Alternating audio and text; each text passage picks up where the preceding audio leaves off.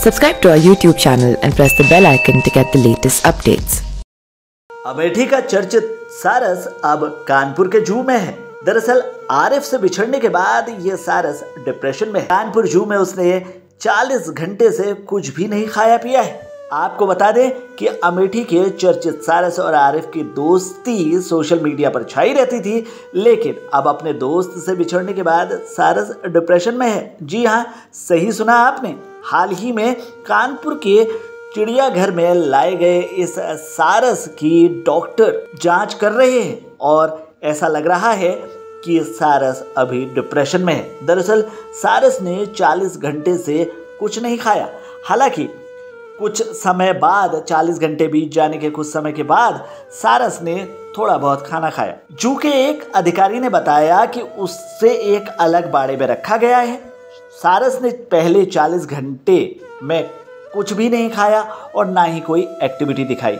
वो केवल अपने पिंजरे के चारों तरफ़ ही घूमता रहा।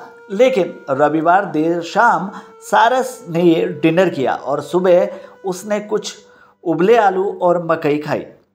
आपको बता दें कि चिड़ियाघर के निदेशक के के सिंह ने बताया कि तीन डॉक्टरों की टीम, जिसमें मुख्य पशु चिकित्सक अनुराग सिंह, डॉक्टर नासिर और डॉक्टर नीतीश कटिहार हैं, जो सारस का इलाज कर रहे हैं। पंद्रह दिनों तक उसके व्यवहार में नज़र रखी जाएगी। इसके बाद उसके व्यवहार के आधार पर यह तय किया जाएगा कि सारस को किस बाड़े में रखा जाए, जहाँ लोग पक्षी को देख सकें। वहीं सारस को लेकर राजनीति भी देखने को मिल रही है।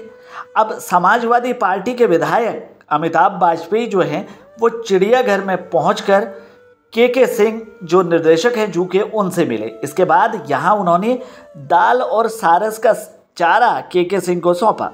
उन्होंने कहा, सारस और आरिफ को अलग अलग करके सजा दी जा रही है, जिससे सारस की भूख खत्म हो गई है।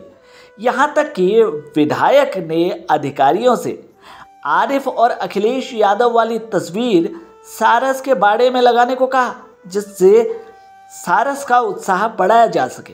तो यहाँ पर राजनीति भी सारस के बहाने कहीं ना कहीं होती हुई नज़र आ रही है। वहीं सारस और आरिफ के बीच अनोखे बंधन को खूब सुर्खियाँ मिली। एक साल पहले अमेठी के रहने वाले आरिफ को बेहोश हालत में यह सारस मिला।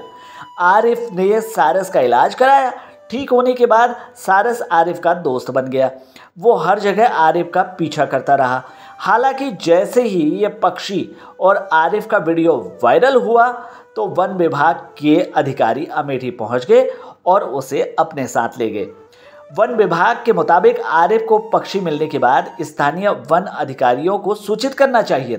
आरिफ को 1972 के वन्य जीव अधिनियम के कथित उल्लंघन के लिए नोटिस भी दिया गया है।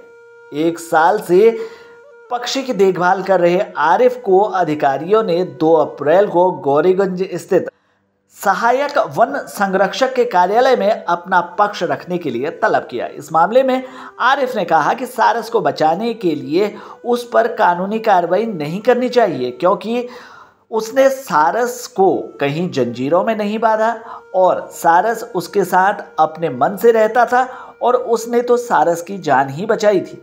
तो ऐसे में उसके ऊपर कानूनी कार्रवाई करना गलत है।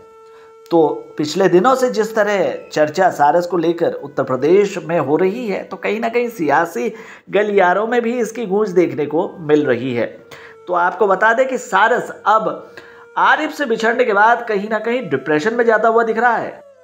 तो इस मामले में अब योगी सरकार कौन सा कदम उठाएगी और विपक्ष क्या अब भी सारस को लेकर राजनीति करता हुआ दिखेगा?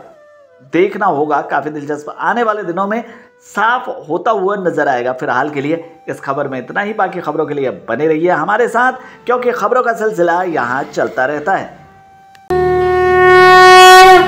Subscribe to our YouTube channel and press the bell icon to get the latest updates.